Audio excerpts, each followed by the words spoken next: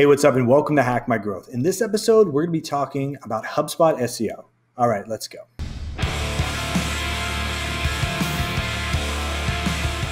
So, HubSpot's a great all in one inbound marketing, really business management software for you. But if you want to get the benefits of being found in search, you're going to need a lot more than a SEO friendly content management system or business system. Just blogging on its own isn't going to necessarily get you the results that you want to see for your business. You've got to do the little things and you've got to do them well if you want to see the benefits in search. So let's take a look at HubSpot and how we can use it and leverage it to make our sites more SEO friendly. So this is the HubSpot um, platform, right? And from here, we can access a lot of things. We can access our CRM, our sales tools, all that's good. But really, what we want to look at today is our marketing tools. So if you have your website on HubSpot, like we do, you can actually see your, your website pages here.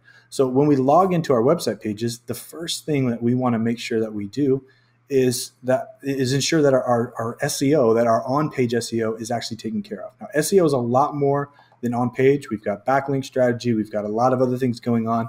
But for most businesses, really what you need to do is start with the basics and make sure that you're doing the little things well. When you log into a page, you know, you can see the, the page, you can edit the different elements in the page. But what we want to do is is get into the settings because this is where we're going to really be able to see what we're doing as far as our on-page search goes.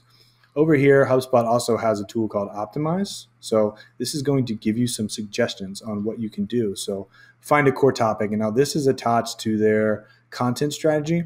I'm still a believer in keywords. I believe that keywords are still extremely important, that you need to be targeting them. You want to be a topic authority, yes, um, but I think targeting specific pages for keywords still works because the search engines are driven by keywords. I've got another video that you can check out. We'll link to that at the end of this one. Now, if you're using HubSpot and you want to link it in here, you can go ahead and just link a core topic. You know, you can say it's a pillar page or supporting page. I've also got a video on pillar pages if you want to check out more about that.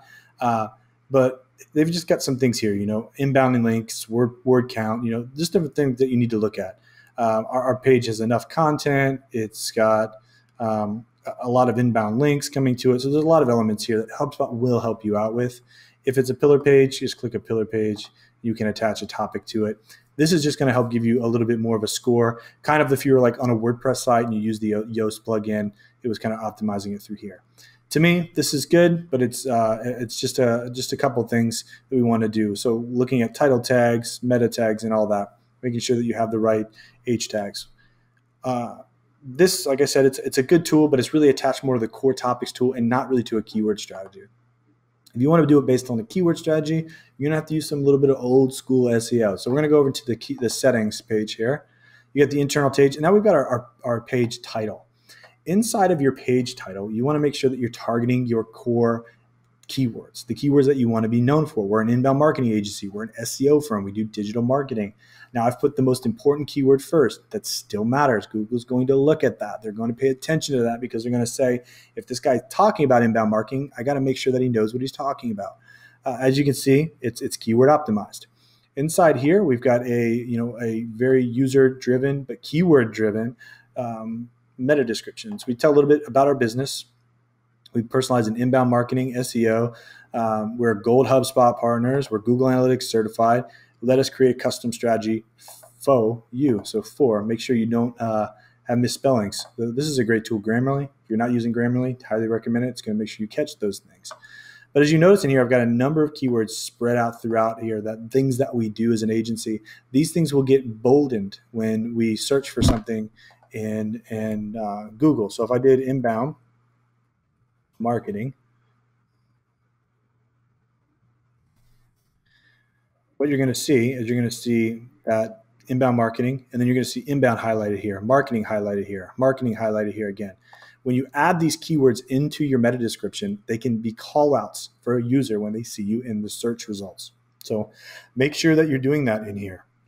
Now, if you want to do some advanced options, you can actually add schema right into here if you've got schema you want to do. So if you're a small business owner or an organization, now we do it through Tag Manager, but say you just want to add it into this one homepage, you can drop your, your header HTML in here. This is why I recommend using JSON schema.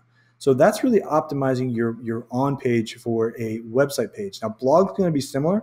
Uh, to this as well. Same with landing pages. Again, you want to do all of your pages like this. Everything in the content management system in HubSpot is going to work the same, which is one of the benefits of the tool that you don't have to relearn something when you're in the blog side or when you're on the website side. Now, make sure that you're adding title tags, make sure that you're adding those meta descriptions, make sure that you're keeping them keyword focused because that's going to help make sure that your content is optimized for search. But we don't want to stop there. There's another cool SEO hack that we can use, uh, which I'm going to borrow from our friends over at uh, Morey Studios. They uh, one of their guys, John, created uh, this this schema, which is very very awesome and easy to use and you can sit here and do some site-wide site-wide schema and just pasting into your site header into your HubSpot portal. Now, the only thing you want to do here is replace where it says replace with your company stuff. So, so John did a great job with this piece, and I will link out to this. But a lot of people are always wondering, where do I find this? How do I get there? Now, John gives you good ideas like content, content settings, and HubSpot's made some updates over the years. So let's look at how we can do that. What we want to do is go over to our settings. And to get to the settings, you hit that gear icon. Now, over here, we've got a number of things going on. HubSpot's changed this a lot, so it may not be as easy as it used to be uh, if you're used to the old system. Now we're going to click into marketing, and then we want to go to web pages.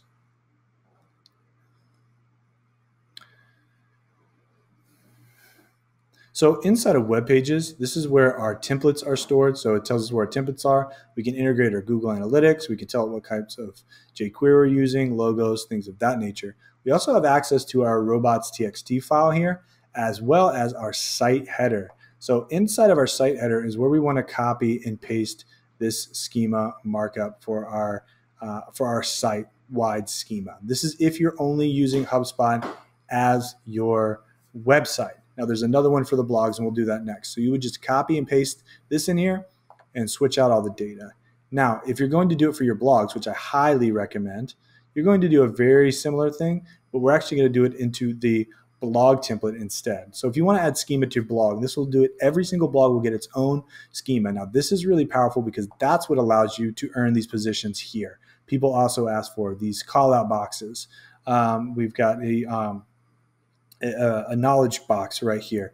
You get those placements by by adding schema and also having good content, good authority, good backlinks. But schema is going to help a ton. It's also going to help you optimize your images. There's a lot of benefits to using schema. Now, this is a little bit more of advanced side, but it's still something that that you can do honestly with copy and pasting and cutting a couple things out. It's really not rocket science. So here, instead of going to web pages, we just want to go to blog because it's going to be a, a different template. We're pulling from a different source. Now we've got our templates and all that stuff here. And once again, uh, we want to click templates because now this is going to give our header HTML of our blog listings. All you would do is take this code right here, copy and paste it right into that blog header, like like um, like so, and that's going to drop it in. It really is that easy. The, the only thing you need to do is make sure that you save it and then go over to Google Structured Data Testing Tool. Now, you won't see it in ours because we actually pull ours using a little bit different types of scripts in, Tag Manager, which we'll probably create a video and one day it's just a little bit more advanced than copy and paste. But if you want to get started with schema and you want to get started to optimize your HubSpot content for the search engines, this is a great way to get started doing the basics.